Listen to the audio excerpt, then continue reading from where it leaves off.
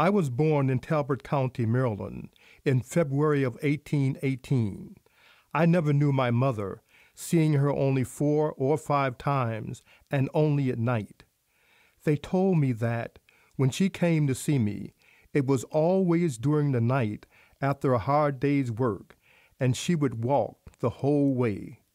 My mother would lie down with me and get me to sleep, but she was always gone before I woke up. She died when I was seven. I never knew my father, although there were rumors that he was my master. Even though my master punished people frequently and harshly, I was not often whipped by him. Something that caused me more suffering than the whippings was hunger. I had very little food, and it was boiled, coarse cornmeal called mush. They would put the mush into a big trough and put it on the ground just like they were feeding pigs. We had to eat the mush with our hands. Even worse than the hunger, though, was the bitter cold. I had no shoes, no socks, no coat, and no pants. The only thing I wore was a coarse linen shirt that hung down to my knees. I didn't have a bed, and so on the coldest nights, I would take a corn sack and crawl in. I had to look outside of the home for help with learning to read.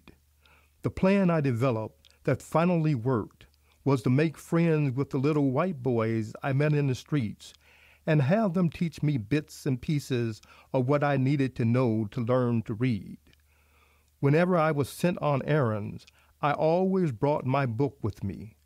I would complete my errand quickly so I could have time for a quick lesson before returning home. By the time I was 12 years old, the thought of being a slave for life began to make me very sad. Some of the boys sympathized with me and wished that one day I could be free like they were.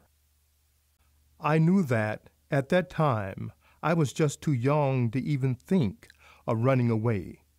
In the meantime, I decided I would learn to write.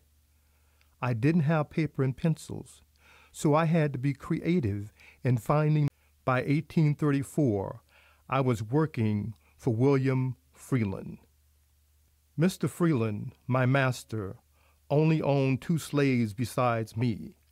Their names were Henry and John. They were very smart, and while I was there, I encouraged them to learn to read.